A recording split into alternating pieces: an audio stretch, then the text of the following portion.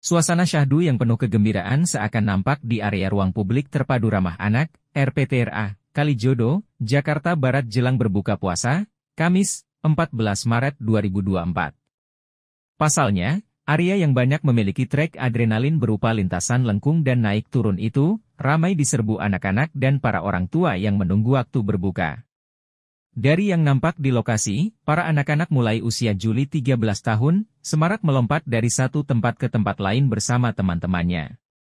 Tak hanya itu, ada pula beberapa anak yang memainkan sepatu roda serta skating di trek yang bak tantangan di Ninja Warrior. Beberapa orang tua juga nampak asyik duduk-duduk di area taman bermain itu sembari mengawasi putra-putrinya. Bahkan, ada pula orang dewasa yang sengaja mengambil spot di bawah pepohonan rindang demi bisa membuat konten bersama pasangannya. Untuk diketahui, lokasi RPTRA Kalijodo berada di Jalan Kepanduan 2, Kelurahan Pejagalan, Jakarta Utara. Sebagian lokasi Kalijodo masuk wilayah Kecamatan Tambora, Jakarta Barat. Dahulu, tempat tersebut merupakan kawasan atau tempat prostitusi. Namun prostitusi Kalijodo akhirnya dibongkar hingga saat ini menjadi taman yang syahdu untuk nongkrong dan ngabuburit saat Ramadan. Selain trek yang cukup adrenalin, di RPTRA Kalijodo juga anak-anak bisa menikmati wahana permainan seperti perosotan, jungkat-jungkit dan lain sebagainya.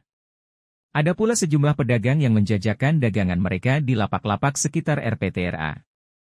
Salah satu warga, Ula, 40, mengaku sengaja datang dari Kapuk, Cengkareng, Jakarta Barat bersama dua anaknya demi menghabiskan waktu jelang berbuka puasa. Menurutnya, RPTRA Kalijodo adalah tempat yang asyik untuk anak-anak bermain. Tempatnya enak aja buat anak-anak main. Dulu sering banget, main sepatu roda, sekarang pas puasa aja baru ke sini lagi apalagi kalau malam ramai banget, kata Ula saat ditemui di lokasi, Kamis. Ula menyebut jika sebenarnya tidak ada yang menarik dari RPTRA Kalijodo. Hanya saja, banyaknya area permainan serta trek yang menantang membuat anak-anaknya betah bermain. Siapa Pak izin Pak? Saya Ula. Oh, Pak Ula ini uh, dat tadi datang ke sini jam berapa Pak? Jam 4 ya, jam hmm. 4. Bawa anak-anak atau gimana ya, nih Pak? Anak dua. Anak dua. Dari mana tuh Pak Bapak asalnya? Dari Kapuk Tengkareng. Nah, kenapa sih Pak milih tempat ini nih Pak jadi spot ngabuburit Pak?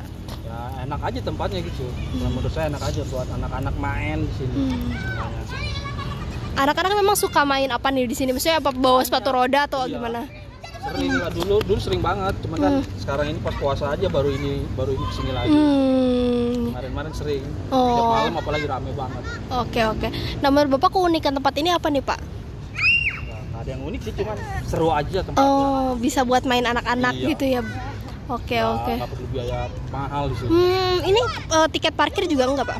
Tiket parkir bayar cuman hmm. nggak hmm. nggak besar kok hmm. berapa tuh pak tiket lima ribu lah ini memang kali pertama bapak ke sini atau udah sering. Oh, udah sering hmm.